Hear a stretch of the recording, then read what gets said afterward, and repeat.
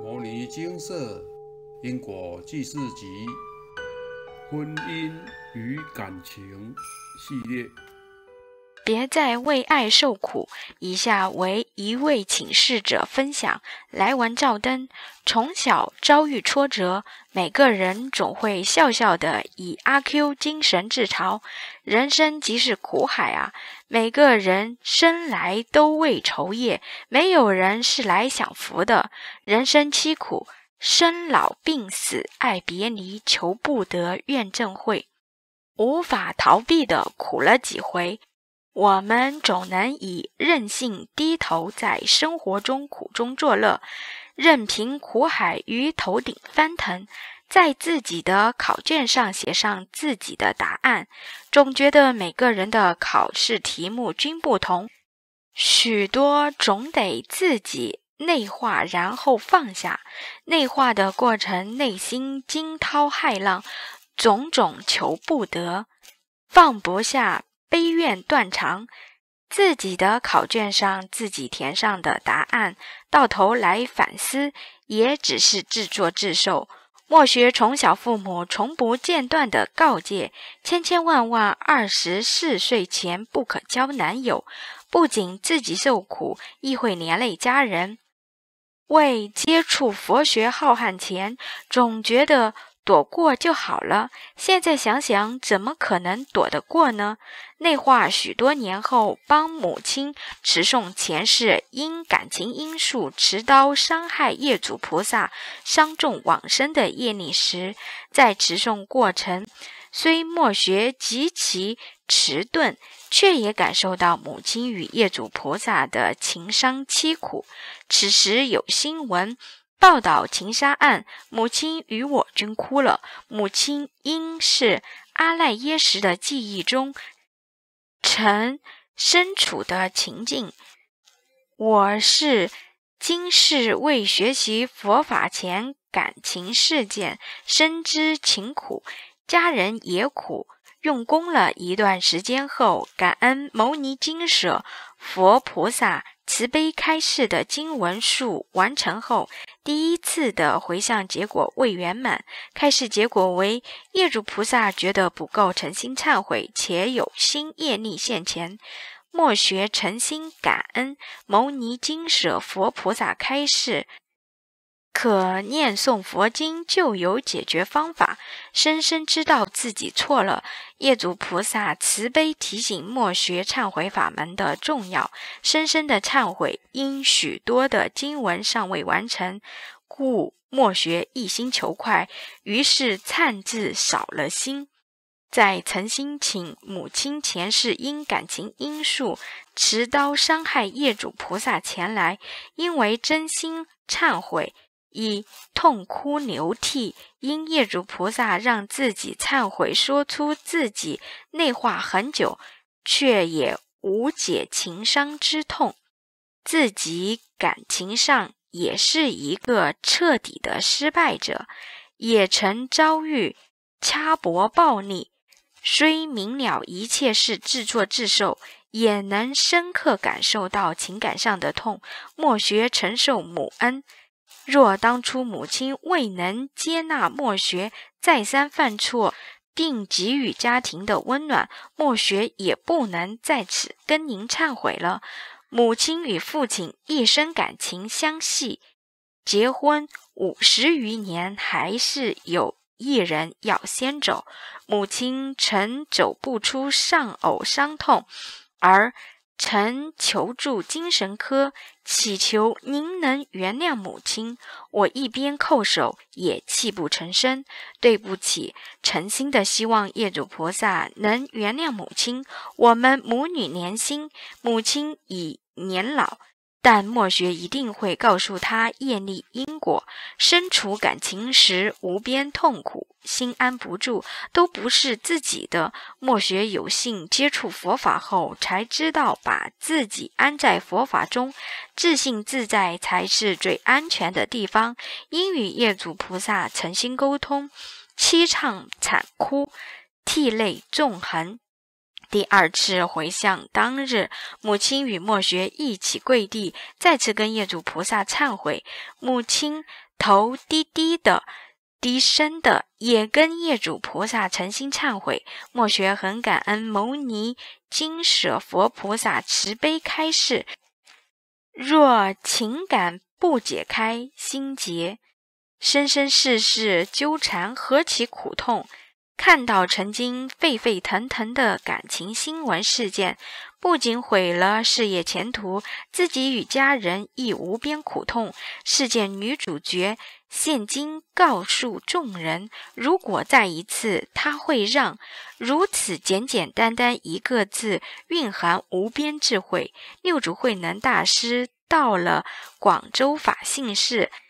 看到两位和尚对着寺前的旗子在争论，一个和尚说：“你看旗子在动。”另一个说是风在动。慧能大师说：“既不是风在动，也不是帆在动，是心在动。”莫学忏悔，沉迷于粉红泡泡最美的心动，泡泡随着微风往上飘，没有永恒的泡沫，也无永恒的爱情。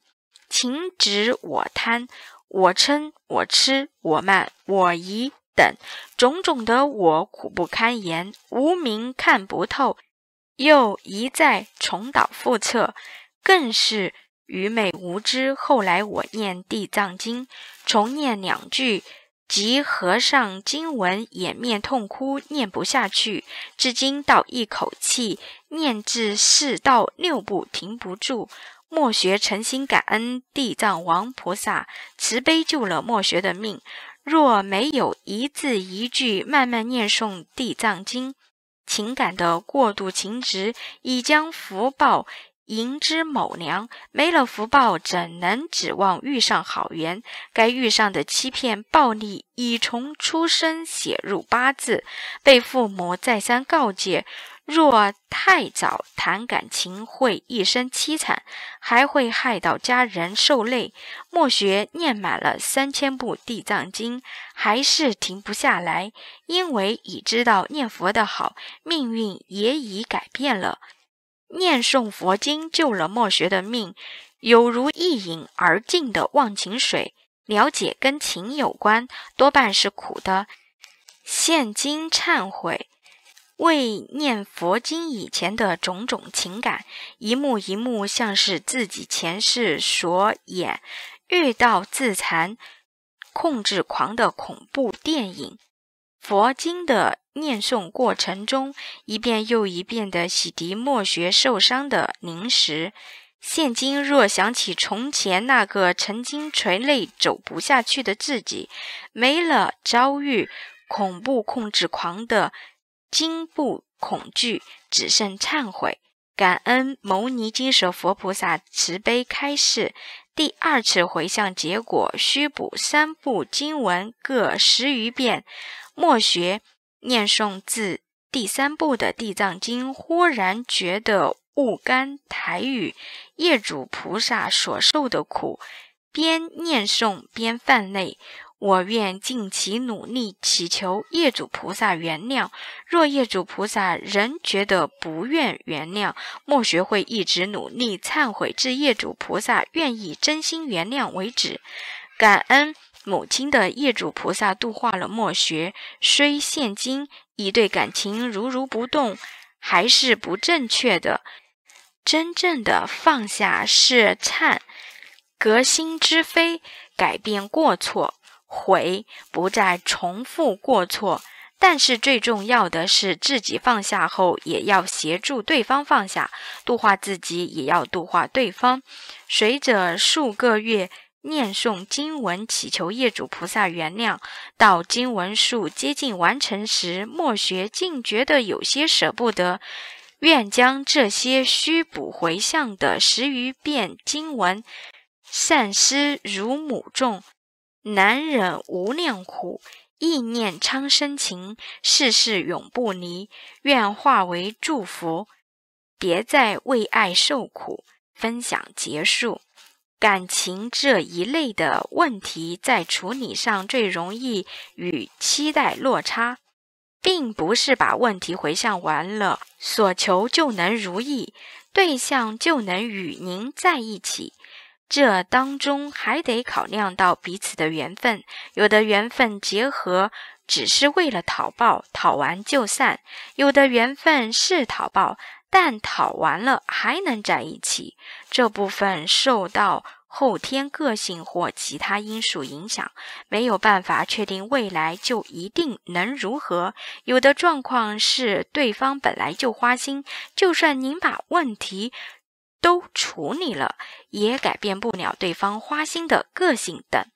面对这一些感情问题，建议您照开示，把该做的功课做完，至少确认因果两清了。把因果还清后，也别忘了经营感情与广结善缘。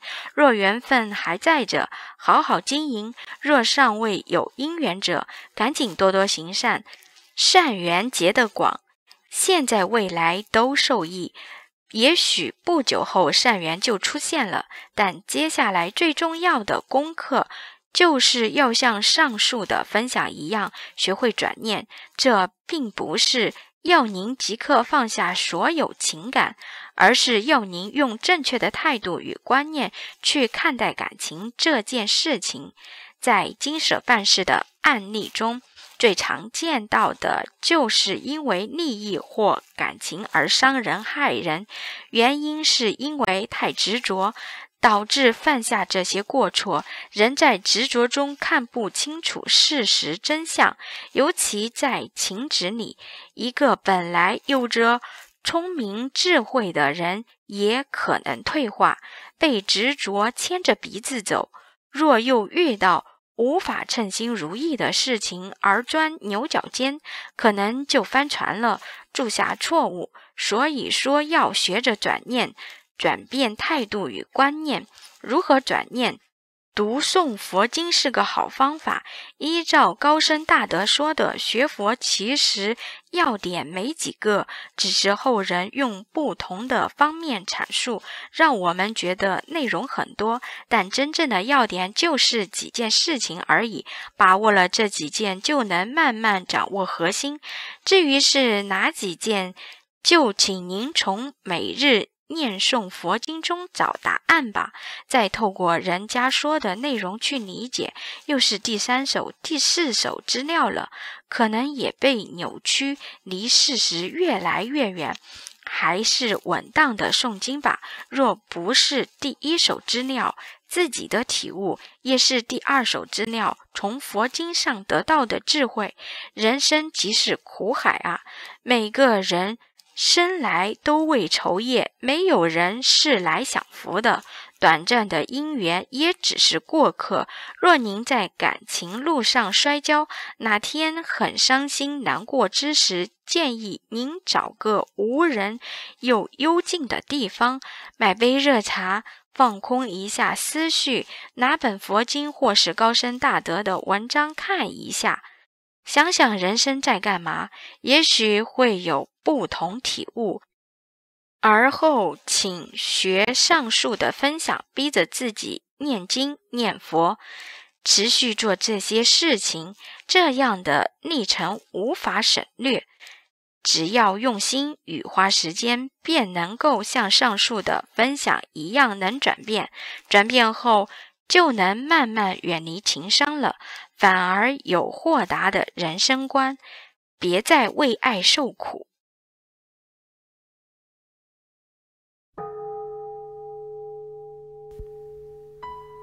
摩尼经寺经由南海普陀山观世音菩萨大士亲自指点，是一门实际的修行法门。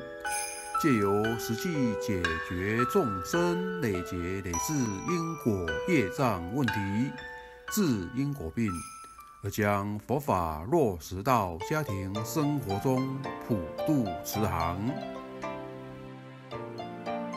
我们不接受供养，不收钱，不推销，不强迫修行，只求能结善缘，解决您的问题。我们专解因果事件、因果问题、治因果病，无论感情、婚姻、家庭、事业、家族、身体、户籍、学业等问题，均能请示。有医生看到没医生，有神问到没神者，不妨一试。